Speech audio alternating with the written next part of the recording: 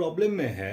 कि ratio of corresponding sides of two similar triangles is five is to six similar triangles हम किसको बोलते हैं? जैसे हमारे पास दो ट्रायंगल हैं A B C and second triangle है पी क्यू आर तो इसके जो साइड्स होंगे, ये अगर ए एंड बी है तो ए अपॉन बी ये सबके लिए सेम होगा। सारे साइड्स प्रोपोर्शनल होंगे और सारे एंगल्स सेम होंगे। ऐसे कंडीशन में अगर साइड्स की रेशियो हमें गिवन है तो ट्रायंगल के एरिया की रेशियो फाइंड करना है तो ऐसे कंडीशन में हम ये बोलेंगे कि area of triangle A B C divided by area of triangle P Q R is equals to